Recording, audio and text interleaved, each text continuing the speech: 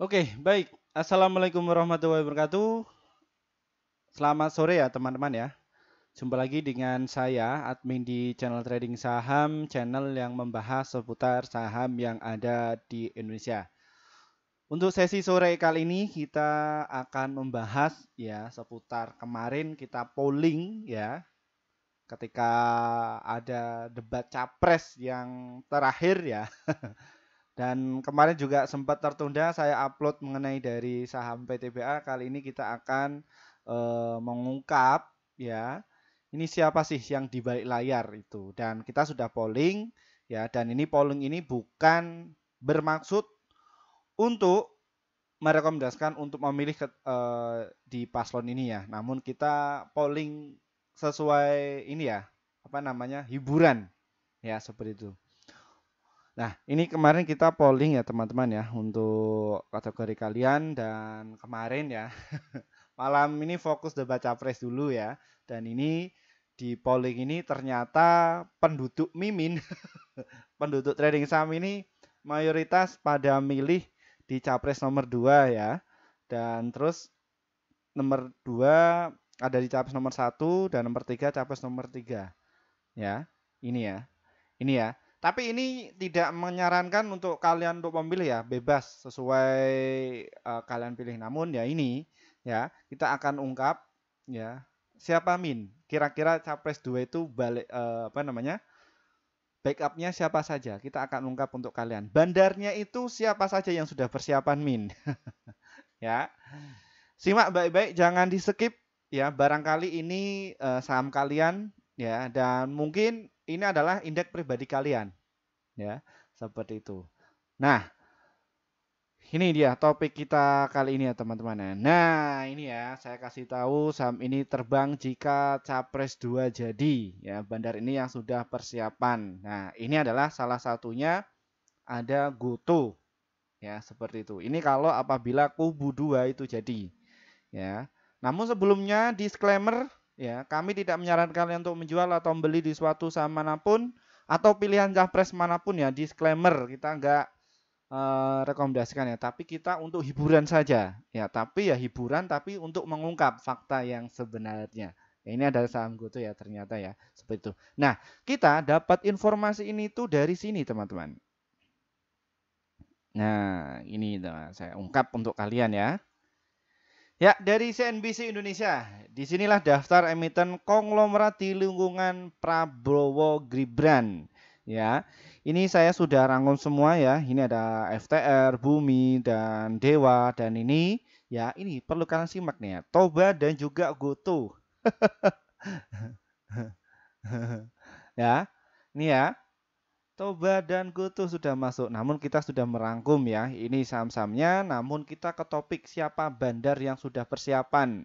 Ya, siapa bandar yang sudah persiapan. Nah ini kita sudah topik kita jadikan menu ini ya teman-teman ya capres 2 ya ini nah kita akan ungkap ya ini yang pertama ini ada Goto Toba MKTR WIRG PMPP Betel Jagle LT UNSP M Media Viva Dewa Energi BRMS Bumi BNBR dan juga Victor ya notabene semua itu diturunkan dahulu ya. Dan ini tadi juga ada transaksi jumbo juga di pasar nego ya, teman-teman ya. Oke, kita akan ungkap ya dari emiten yang pertama. Ya, emiten yang pertama siapa bandar yang sudah persiapan? Ya. Nah, ini tadi Goto itu disebut ya. Goto disebut. Ya, ini bukan dari analisa Mimin. Ya, kita akan cek untuk membantu kalian. Goto itu disebut. Oke, siapa yang sudah persiapan min? ya, kita cek dulu gitu. Nah, ini ketemu teman-teman. Ya, ini yang sudah persiapan adalah YU ya. YU ini sudah persiapan, dia sudah masuk ya sekitar 311 juta lot. Menarik ya. Menarik ya. Ini terus dia pakai apa lagi nih? PD ya, bandarnya pakai PD 135 terus CP 156 juta lot ya. Bandar dalam hal ini itu kalau di bahasa akademisi disebutnya mereka adalah likuiditas provider atau apa? Market maker. Ya, ini yang yang persiapan ya. Seperti itu. Dan e, kalau kita lihat dari sisi valuasinya, Pak, kita akan cek. Nah, ini konon hari ini Goto itu turun ya. Memang mayoritas diturunkan dulu. Biarkan orang-orang yang punya kepentingan ini di saat pem, e, apa namanya? Kampanye damai ya atau hari tenang ya ini diturunkan dulu semuanya. Nah, ini offernya itu dicabut. Beng, beng, beng, beng. Nah, ini kelihatan kan? ini kelihatan ya. Block trader, ini bandar kakapnya. Ya, dicabut semua.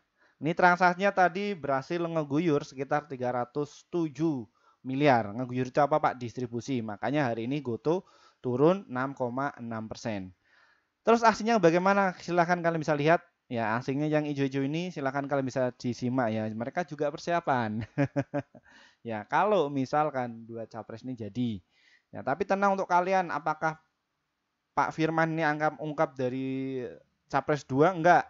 Nanti polling yang kedua saya akan sebut ya yang paslon yang satu. Kita fokus di sini dulu. Ya.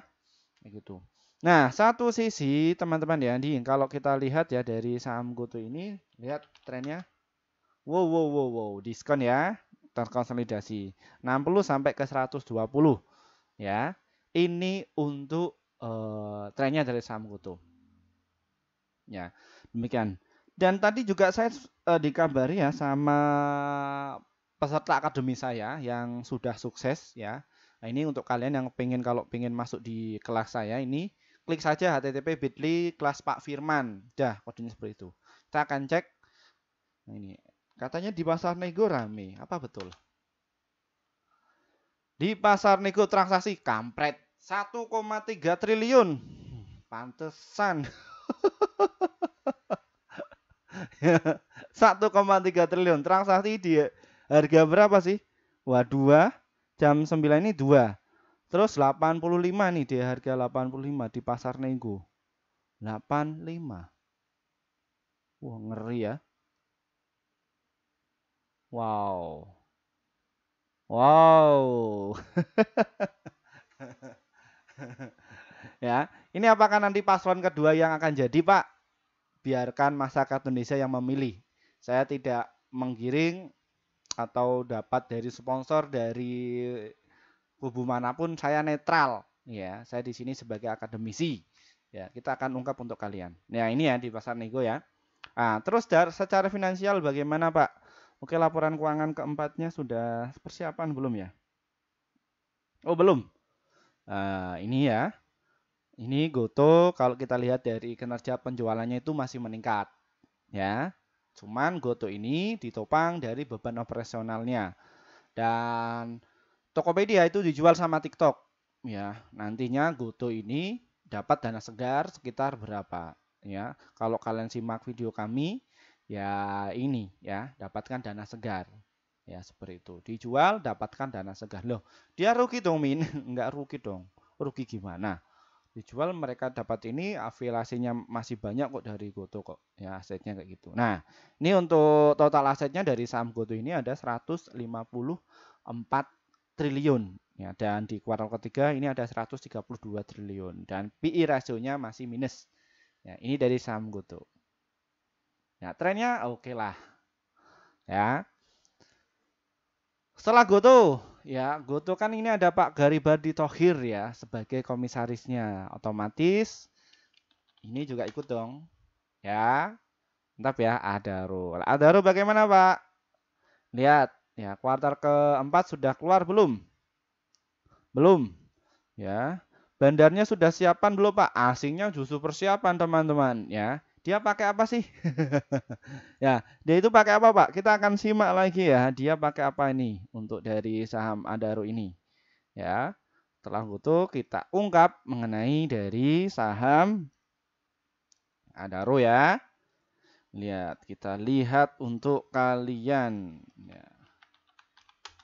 ya kita cek bandarnya yang sudah persiapan. Oh, dia ada BK, XC, CP, YU. Wah, ini sopir-sopirnya nanti ya yang uh, ketika saham saham ini itu diterbangkan uh, nanti ya mereka akan jualan. Ya nanti tunggu dulu ya tunggu paslon uh, ketentuan tanggal 14 tadi. Jangan lupa milih ya seperti itu ya teman-teman ya. Oke setelah dari Goto Adaro kita ungkap lagi. Ya ini siapa? Tadi kita sudah ungkap ya. Terus Toba ini sahamnya Pak Luhut wah mantap sekali ini kok besar-besar ya yang masuk ya koalisinya ya oke Toba asingnya ya sikat Pak Luhut mati kok. Asingnya ya sopan, boleh sopan. Kita cek dari bandarnya dia pakai apa? Dari saham Toba ini yang persiapan YP ya, ini yang saya pakai ini YP.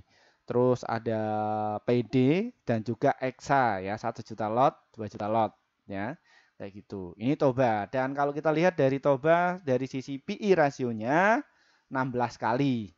Ya, ini ya agak ya slow lah kayak gitu slow. Kalau Goto itu ada kenaikan sangat e, bisa untuk diterbangkan untuk tinggi itu bisa, masih ada peluang. Terus Adaro masih ada peluang. PI rasionya 16 kali dan PBV-nya lihat 0,5. Murah ya, masih terdiskon ya. Silahkan kalian bisa dimanfaatkan. Amin disclaimer ya teman-teman ya, seperti itu. Oke, Toba. Setelah Toba, apalagi Pak? Ya, bentar. Tenang, ini kalian bisa catat juga ini ya. Setelah Toba ada MKTR, MKTR ya, MKTR. MKTR coba terbangnya bisa nyampe berapa? Pi rasionya 36 kali, agak berat lah. berat. Ya.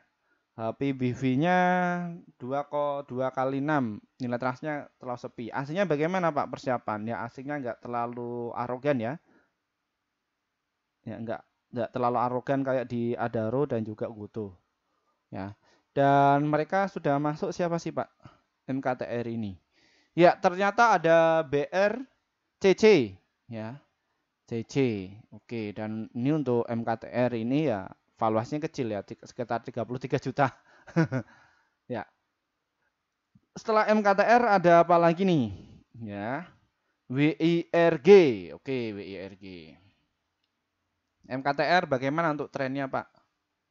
Oh, masih terkonsolidasi. Ya, kita ngamatinya untuk lima tahun, ya. Oke lah, kalau di 133 ini ada gap di 240 ya 100% 100% dalam lima tahun ya oke okay.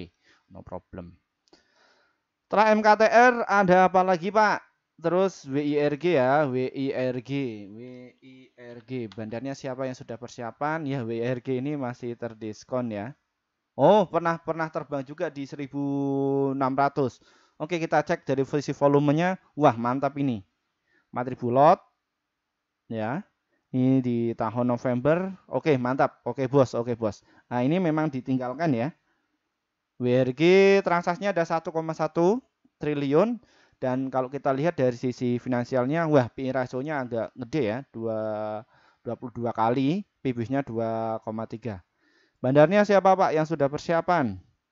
WRG ada RF, EP, PD ya dan juga CC ya 1 juta lot. Ya, kayak gitu. Ini WRG. Terus apalagi Pak? Setelah WIRG ada PMMP. Ya, PMMP, PMMP. Wow, coba lihat kita tes dari sisi bandarnya siapa PMMP yang jadi jargonnya. Oh, CC ya. Dan juga CP ini. CC CP sudah persiapan.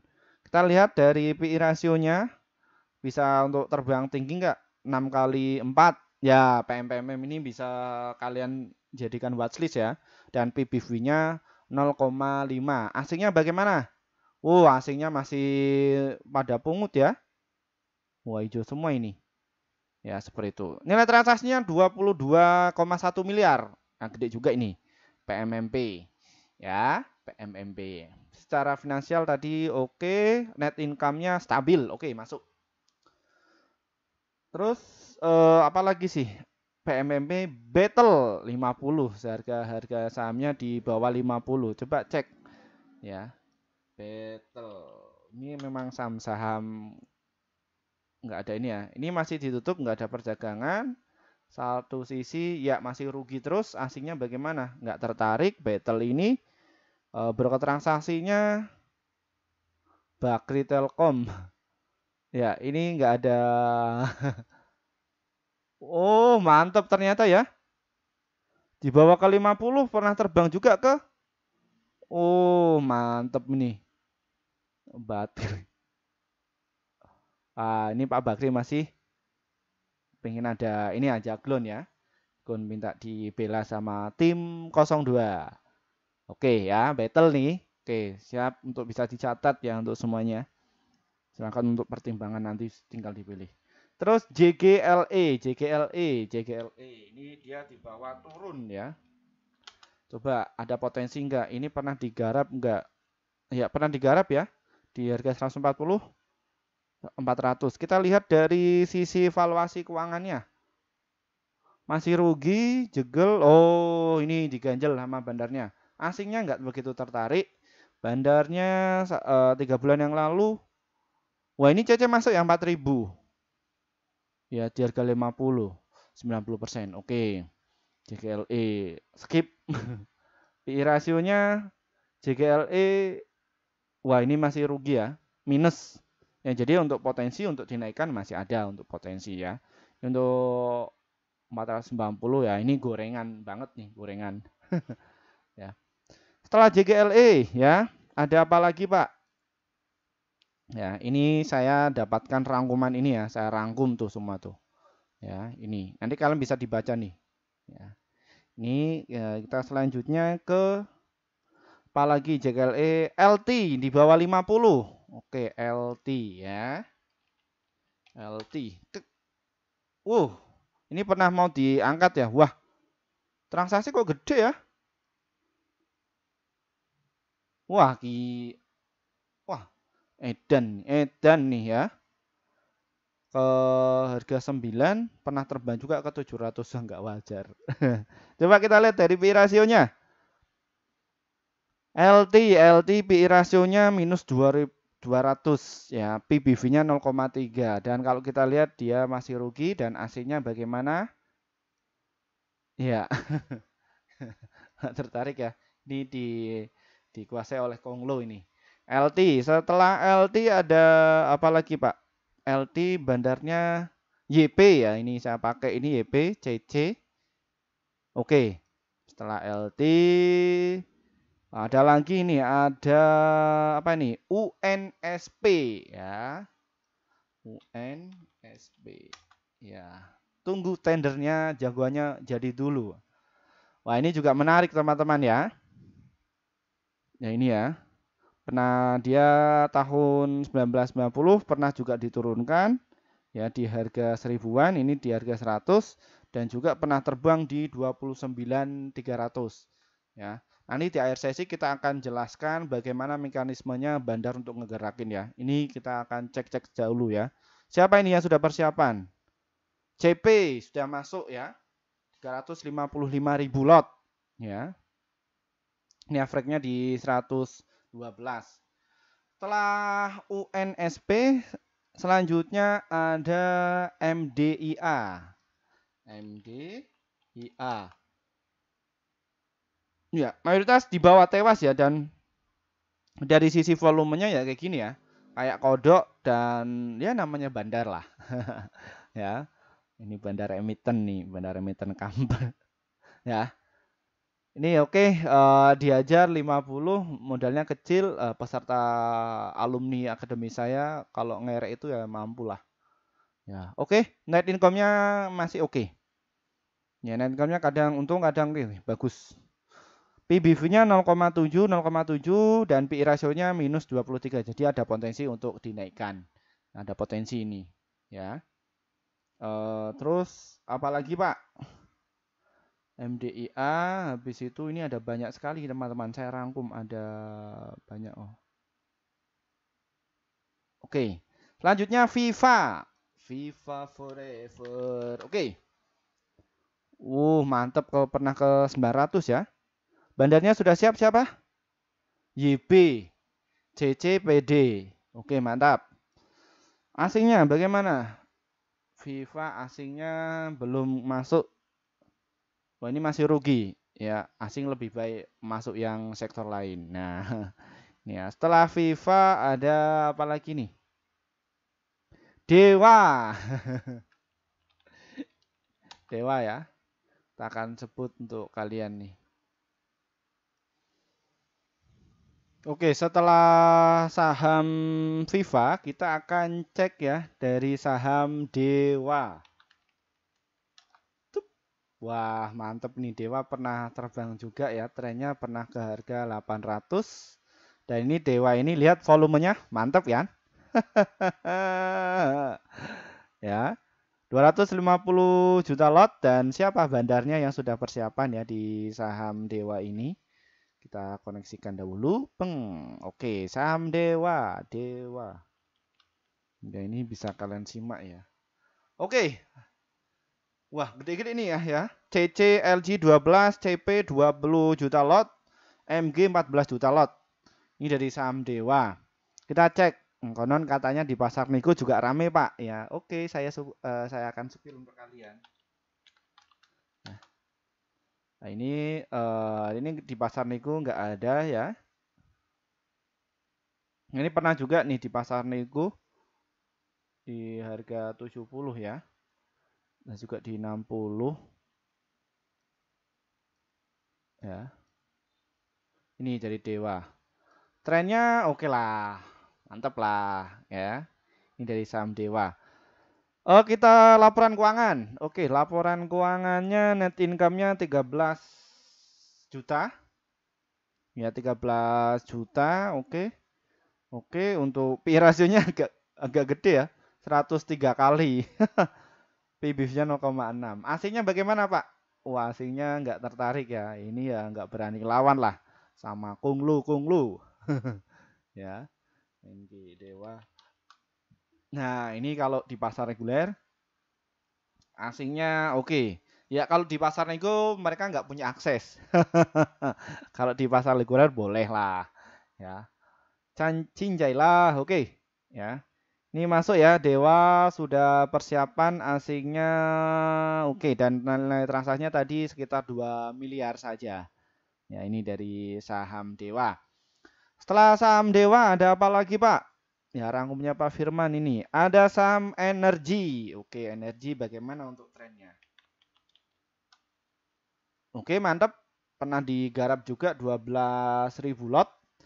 Wow, mantap sekali ini. Volumenya gede-gede ya. Wow, gila ini. Wah, mantap ini. Ah, kita cek. Masih ada potensi untuk dinaikkan kembali nggak? Pi, pi rasio 7 kali. Wah, mantap ini energi ya. 7 kali.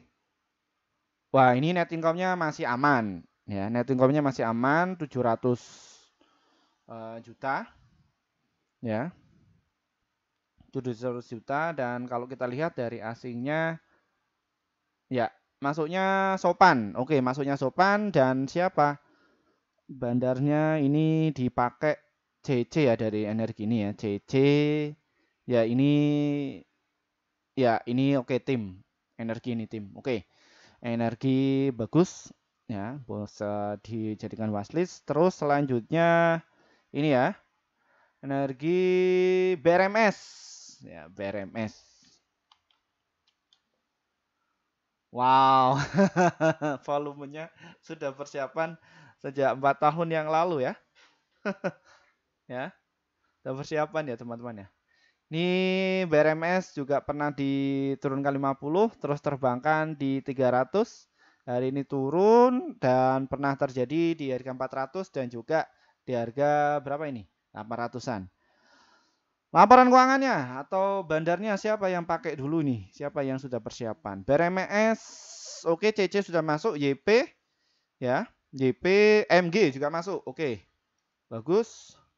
Uh, terus dari sisi ininya asing ya asingnya masuknya secara sopan ya ya bagus ya punya attitude P rasionya 92 kali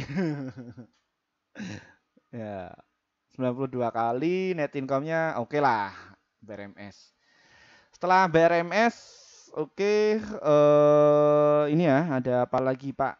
Bumi. Oke, saham Bumi ya teman-teman ya, saham Bumi. Wah, ini pernah juga digoreng sama guru saya ini. 8.000. pernah di 8.000, 3.000 juga pernah, 500, oke okay lah. ini transaksi jumbo ya. Ada 1,4 juta lot dan kira-kira siapa sih yang sudah punya barang di saham bumi? Ya, CC, MG, YU, YP, PD, dan juga CP. Oke, formasinya bagus. Rapih mainnya. P rasionya 4, 4 2 kali lah. PBV-nya dua kali. Oke, ya betul sesuai apa yang dikatakan oleh guru saya manajer sambung ini. Jadi asingnya bagaimana sembah nuwunnya? Oke bagus, nggak arogan. Oke nggak arogan. Oke bagus, sopan masuknya. Uh, setelah itu ada apa lagi Pak? BNBR, BNBR, BNBR. Klik, buh, ini apa ini nih? Diangkat 500, habis itu turunkan. Oh ini wah 50 Wah ini ini bandarnya agak ngeri ya teman-teman. Nah ini enggak saya sarankan untuk kalian bagi para pemula ini untuk BNPR. Finansial, oke. Okay. 0,6 PI, uh, PI rasionya 6 kali 9 dan net income-nya ya sudah mulai positif ya. Dan kalau kita lihat bandarnya siapa yang sudah persiapan? OMJ sudah siap, PD juga sudah siap ya. Nah ini BS 142 HP ya Enan. Oke bagus. Setelah BNBR terus ada apa lagi nih Pak? Ya kita akan cek. Victor, Victor tadi kita udah belum ya? Oh tadi MKTR. Oke Victor, FKTR. Ya FKTR ya masih rapi ya. Nah, ke 147 juga, ini harga 170. Nah, PI rasionya bagaimana? Kita cek ada potensi nggak PI rasionya? Wah, kampret lagi nih, sudah terbang 200 Ini edan.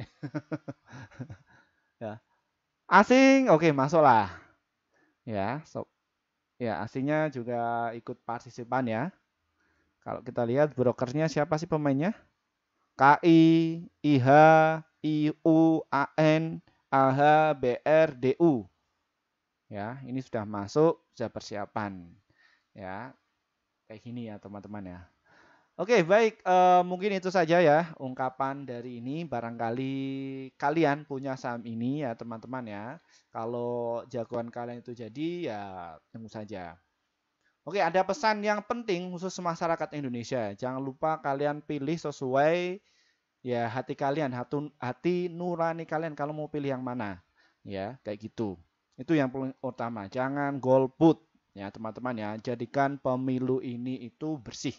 Ya, bersih dalam apa? Ya nggak usah gontok-gontokan. Bahasa Jawa gontok-gontokan. Ya nggak usah kayak anak kecil lah. Ya beda pilihan kayak gitu enggak. Kita di sini di capital market, jadi ya kita numpang bandar saja yang punya kepentingan yang penting di sini kita bisa cuan secara konsisten. Dan untuk kalian ketahui ya, untuk peserta akademi saya atau yang alumni kami, mereka sudah sebelumnya sudah tak kasih tahu. Ini ya patokan-patokan ini sudah mereka persiapan dan mereka dananya sudah gede-gede, masih di keep ya, belum dimainkan. Hanya mainkan ya untuk pemilu ini 10%.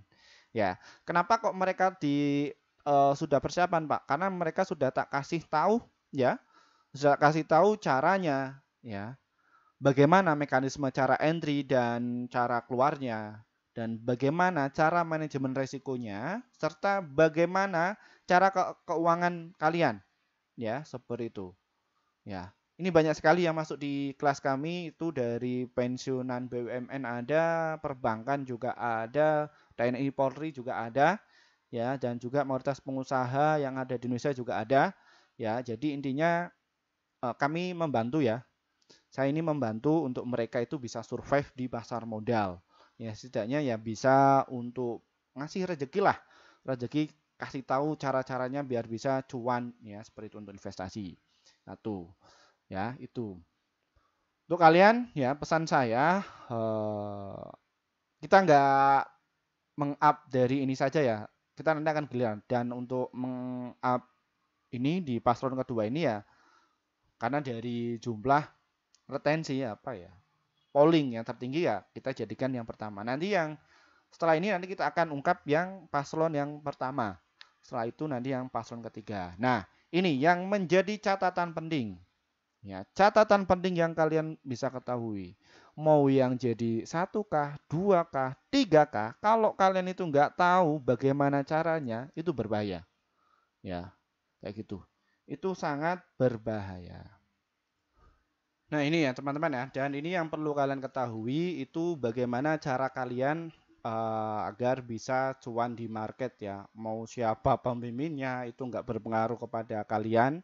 Yang penting itu adalah diri kalian bagaimana caranya. Nah untuk kalian yang kepengen masuk di kelas akademi saya silahkan bisa hubungi di kontak di sebelah ini ya. Dan ini untuk akun ini ya, uh, apa TikTok dan juga Telegram saya dan ini di kelas ya. Ini kalian bisa diklik saja nih di apa namanya di browser atau di Google http bit.ly kelas Pak Firman. Klik saja. Uh, kalau kalian itu nggak tahu ya nanti bisa hubungi di kontak uh, saya ini ya seperti itu. Nanti kita akan uh, membantu kalian ya kayak gitu. Dan alhamdulillah yang masuk di kelas subscriber kami itu belum banyak ya. Jadi silahkan bisa masuk ya seperti itu kita akan dampingi kalian. Ya karena uh, subscriber kami baru 12.000 ya. Sedangkan yang youtuber yang lain itu kan ada puluhan juta ya. Jadi untuk potensi untuk backupingnya itu masih mudah. Kalau yang gede-gede kayak gitu ya mungkin kalian nggak bakalan kopenan apa itu? Kopenan keurus. Ya tapi kalau saya konsisten karena kami pakai tim juga ya. Seperti itu. Silahkan ya uh, kalian bisa masuk. Dan pada intinya, kenapa kok kubu-kubu yang lain yang punya perusahaan modali ya untuk paslon ini ya, biar usahanya dalam lima tahun atau 10 tahun itu ya dijaga. Ya, jadi habitatnya itu dijaga. Jadi nggak ada yang utak-utik. Ya, ini kalau secara bisnis ya real lah kayak gitu. Ya, real. Ya, kita ngomong apa adanya aja, real. Jadi yang namanya bisnis itu ya kayak gitu. Ya, tinggal ya seperti itulah. Kalian mungkin tahu lagi. Oke, dari saya wassalamualaikum warahmatullahi wabarakatuh. Uh, sampai jumpa lagi. Kita akan bahas yang lainnya. Silahkan hubungi nomor ini ya.